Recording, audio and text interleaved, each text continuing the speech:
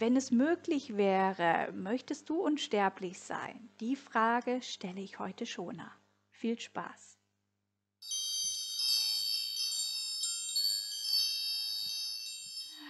Hallo zurück, so Shona. Heute ist meine Frage an dich. Möchtest du unsterblich sein? Und wenn ja, warum? Und wenn nicht, warum nicht? Okay, ja, ich möchte nicht unsterblich sein, ähm, weil ich, ich würde nicht ähm, ohne meine Familie und Freunde leben. Mhm. So, wenn ich nur die einzig, das einzige Person äh, wäre, die noch lebt, ja, das, dann würde ich allein sein. Und das für mich würde nicht so nicht so ähm, bequem sein, ja, so nicht so, nicht so schön. Auch glaube ich nicht, dass äh, es, ich glaube, dass es kein Leben nach dem Tod gibt. So, ähm, wenn man stirbt, dann das Leben ist zu Ende, ja. Ähm, ich bin aber für die Sterbehilfe ähm, nur wenn jemand so unheilbar ist, ja, und wenn man im Vollbesitz vom, ähm, äh, vom geistigen Kraft hat, ja, und, und wenn man diese Entscheidung ähm, klar machen kann, ja, so ähm, das ähm, für mich, das ist, weil ich ähm, Atheistin Atheist, Atheistin bin. Und ich glaube, dass ähm, man sein, sein eigenes, äh, seine eigene Entscheidung über das Leben haben sollte.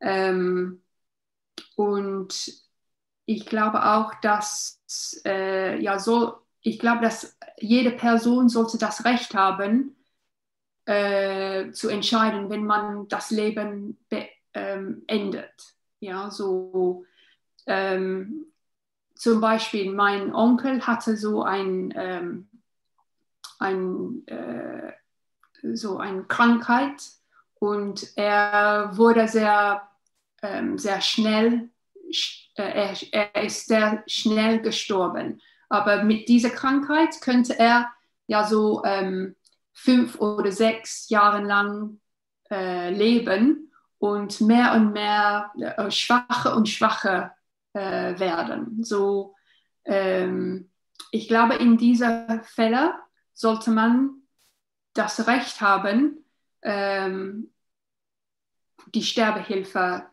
äh, um die Sterbehilfe zu bitten. Ja, so, ähm, ja, so, wenn, wenn es wenn es kommt zum Unsterblich, zur Unsterblichkeit, glaube ich, äh, das würde ich nicht äh, machen, ja, äh, mögen, ja, so.